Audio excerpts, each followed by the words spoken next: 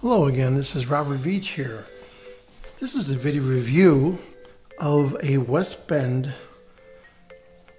Belgian waffle maker. This is the model 6201, 1080 watts, 120 volt unit. Now I just got done making these Belgian waffles right here using this.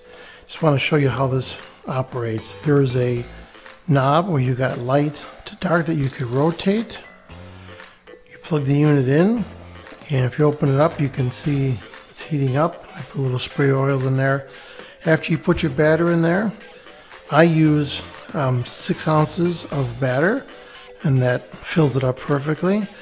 You then rotate it clockwise and the ready light will go off because of the temperature dropping from the batter. The light comes back on you rotate it and lift it and you'll have your perfect waffles at that point.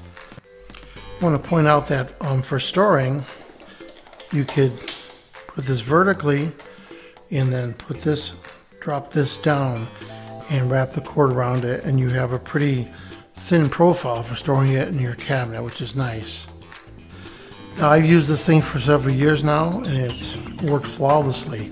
Now this is a thick waffle it makes it's not a traditional thin waffle, so it's very thick. It's more like a cake. It's on the order of three quarters of an inch, so it works really well. So I'm to give this product a full five star rating on my channel.